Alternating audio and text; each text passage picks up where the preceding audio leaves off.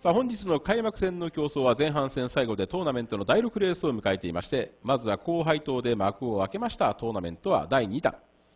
132456で並んでまいりました。さあインコースは1号艇で平山千佳。さあこのレースの人気の中心となっています。平山がここはイン逃げなるかでその横3号艇並んで前本康和とこのレースの人気の両者がインコース2コースに13そして2号艇の前田光明が3コースからになりそうでそして4号艇が引っ張るでしょうか。上村純一。5号艇の松本昭恵で6号艇の近江翔吾でタンマークを回ってまいります。現在もスタートライン上はやや向かい風の風速ですが現在は2メートル前後。さあインコース1号艇入りました平山千佳。昨年のクイーンズクライマックスのファイナリスト。人気の中心で今日はこのレースのみで登場。そして3号艇2号艇とスローがここは132と並びました。そしてダッシュ勢が4号艇、5号艇、6号艇と並んでまいりましてこれで3対3に分かれまして進入体系固まってさあ風が強くなっています。現在の向かい風スタートライン上では風速は3メートルから4メートルほど。さあここは誰と誰と誰勝ち上がってくるのか。第6レーストーナメント。1番、3番、2番。4番、5番、6番で間もなくスタート。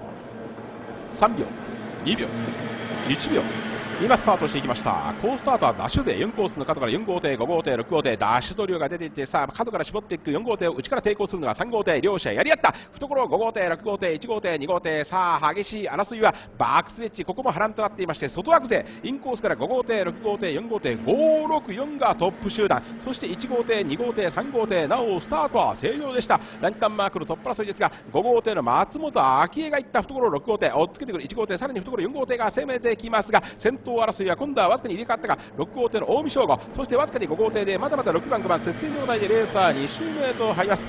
トーナメント続いてここも波乱の後輩となっていまして波乱となっていまして2周目で出したマークのトップ争い。6号艇の近江翔吾が行く。突っ込んで1号艇外を握った5号艇ですが先頭争いは6号艇の近江翔吾。そして2番手に5号艇の松本明恵で6コース5コース。そして後方3番手争いですがわずかに4号艇の上村純一で外枠勢の6号4そして1号艇人気の平山現在4番手あとは3号艇2号艇ですが第2ターンマークでは3番手切り返して1号艇の平山地下いった懐さばいてくるのは4号艇の上村純一ですが3番手争いは今度は4号艇と1号艇両者が並んでまいりまして最終周回へと入ります。